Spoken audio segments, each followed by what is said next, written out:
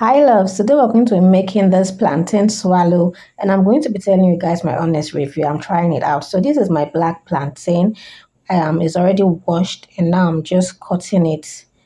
So the deal is that you have to um, cut it and then you know make it into small cubes to blend. Depending on your blender, my blender is not bushy mix or any strong blender like that. So I had to like cut it really, really small. First of all, I'm not someone that like garri. I don't love Eba. I don't even eat Eba. So I look for any alternative to like eat.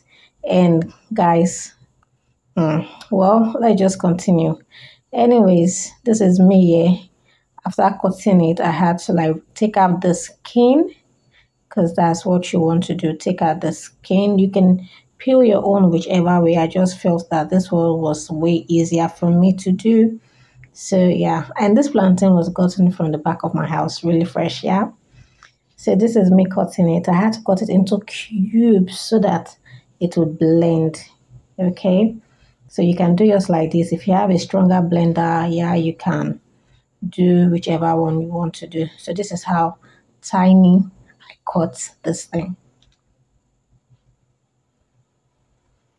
Can see. So each thing I really took my time, okay? So you can do that here. So this is on unripe plantain. It's not the ripe one.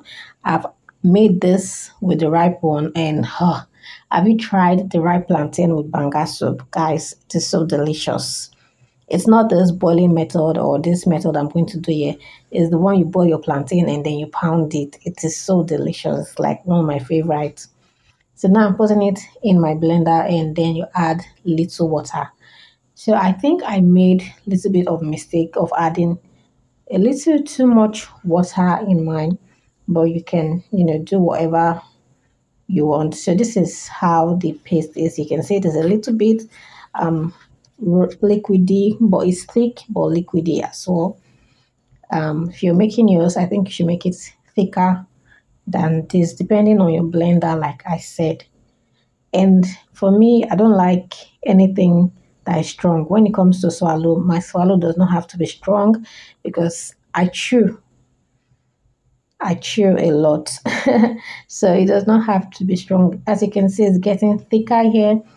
And if you've made starch before, it's just the same process. You know, you have to keep on stirring so it does not um, have seeds in it. Just keep on stirring and stirring. And that's what I was just doing here. Guys, this thing was like starch. I'm not even going to lie. It was like starch. You know, if you're eating, if you've eaten starch, you understand what I mean. It was really smooth, and that's what I love. I loved the texture of this um, plantain swallow. So as you're seeing, it is getting thicker, but the truth of the matter was that it was not thick. Okay, it felt um, you know, like very soft garri, which I did not mind because I'm someone that, like I said, I don't like anything strong. So it was like, you know, garri. I had to use fork to eat, um, to eat it, to take it. But I noticed that later on, when it was already um, cooling down, it was getting stronger.